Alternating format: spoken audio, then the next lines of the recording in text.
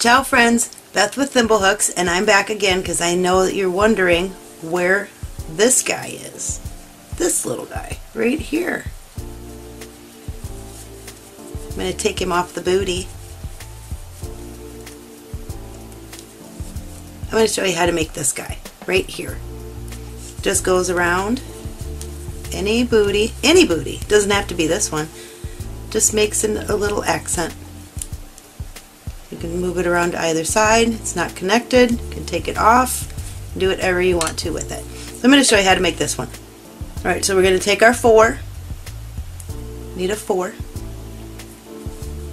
and I'm going to use the pink, I'm going to make exactly like this guy, so I'll leave him out so we can see it. Actually, I'll put it right back on here again so you can see what I'm making and what it's supposed to do. I'm going to take my 4 millimeter hook again and I'm going to use the pink. There's my slip knot. However you like to make a slip knot, I make mine this way. And I have my butt. I love these little butterflies. And they match these colors so perfectly that I had to use them. So I wanted to show you this one again. So I'll set him over here too. And first we're going to start out making the buttonhole. Underneath the butterfly there's a little buttonhole. So we're going to chain seven, one, two, three, four, five, six, seven, and then slip stitch into the very first chain. We're going to make ourselves a little ring. There's a slip stitch like that. We would chain one, and then inside this ring right here, we're going to make 15 single crochets. And I always like to mark my first stitch, so I have my stitch marker right here just makes it easier to find it. Especially if it's something that you're just learning how to do. So that was number one, 15 total. So there's two and 15.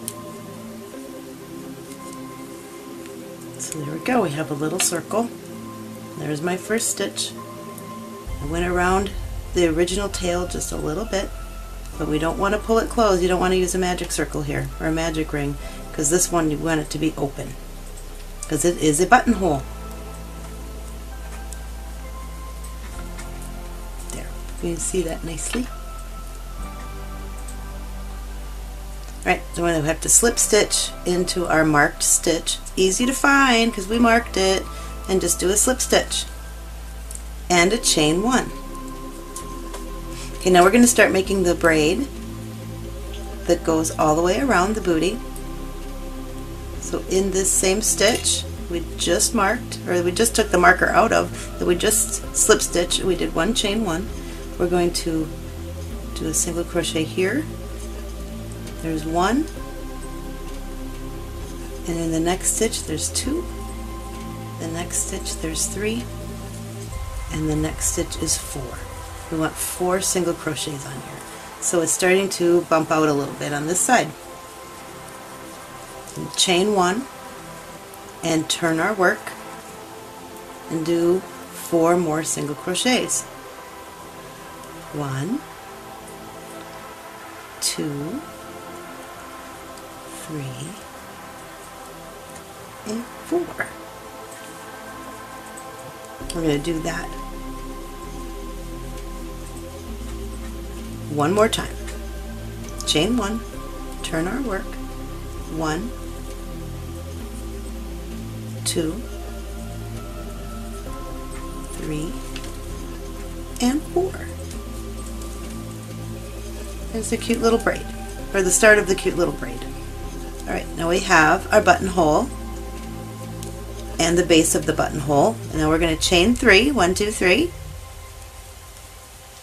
and slip stitch into the end down here kind of loosely. And chain one turn our work and inside this little loop right here we are going to make five single crochets. If you want to you can use your stitch marker to mark that first one because using a stitch marker makes everybody happy and everything goes faster. That was one, here's two, three, four, and five. So that was loop number one. Use my clicker. Right now we're going to chain three. One, two, three. Turn our work. And in our marked stitch, we are going to slip stitch. So we have another loop. We can take the marker out now because we're going to use them again in a second. And chain one and turn again. We're just going to keep turning. And inside this little loop, right here, five single crochets. So let's mark that first one.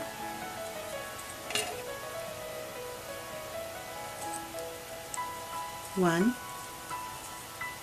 two, three, four, and five. So now that's the second link. I'm going to mark that, or I'm going to click it, two.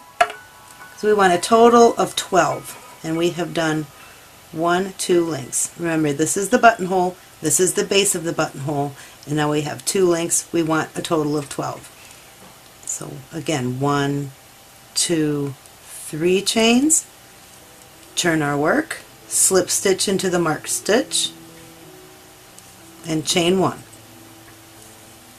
We're going to take out the stitch marker, turn our work,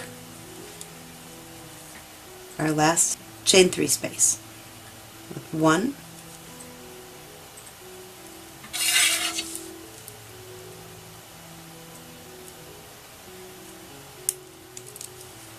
two,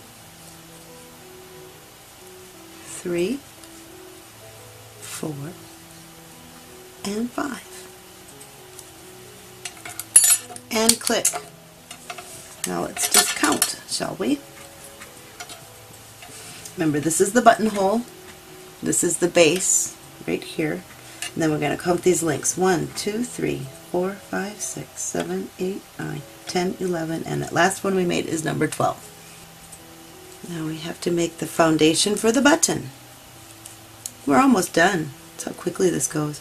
You chain one and turn and single crochet across. One and five.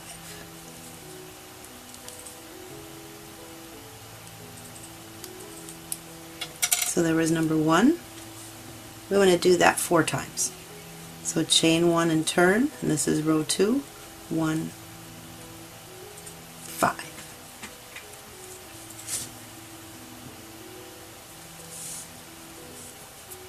Now you finish off leaving a really long tail.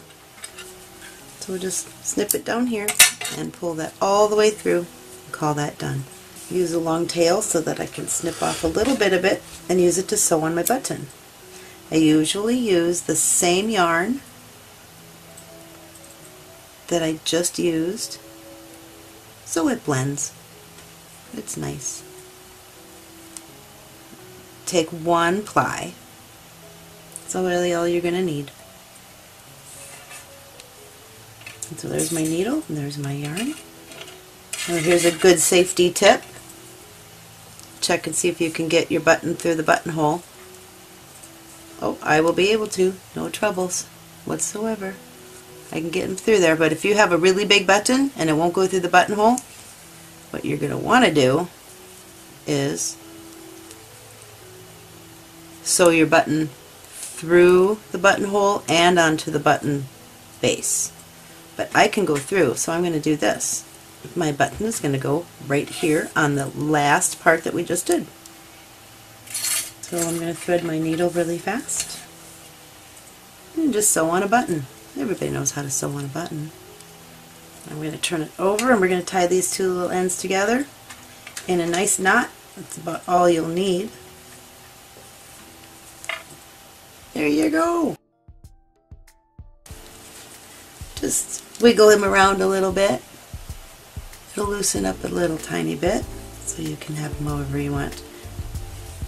Leave him off to the side a little bit. I think that looks cute because that's the way butterflies look weave in ends. And I'm not going to do that right now because you've got the idea. I'm not going to weave in the ends. Everybody knows how to weave in ends any way that you wish to do that. Alright, well again, that's I'm Beth with ThimbleHooks, Thank you for stopping by. Thank you for supporting my small business and please subscribe to my channel. Thanks. I'll see you soon. Bye.